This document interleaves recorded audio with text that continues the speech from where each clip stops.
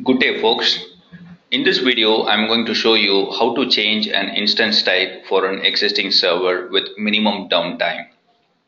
Let us say you have a production server running and the instance type is T2 micro and for some reason your manager comes and says the performance of your T2 micro is not good and you want to change it to a higher instance. How do I go about it? So I'm going to show you the most easiest way of doing things. There are multiple ways, but this is one of the easiest and quick and dirty ways of changing the instance type. So before changing the instance type, if you are not having access to the dashboard, you can find the instance type from the server also. I've logged into my server and this is the URL from where you can find the instance type from within the server. Uh, so there are a lot of metadata available. In this case, meta, this instance type uh, is available by this option and here if I press enter you can see here it is running as a T2 micro instance for the moment.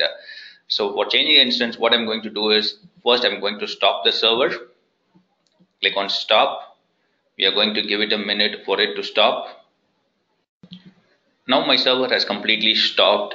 So what I'm going to do is I'm selecting the server go to actions. Under instance settings you will have change instance type so from T2 micro, what I'm going to do is I'm going to add it to a T2 medium now and then click on apply. And then I'm going to start my server again. So let us give it a minute for the server to come online. Now my server is completely booted and you can see here the instance type is reflecting as T2 medium here and also here. So let us go back to our console and see whether it is reflecting.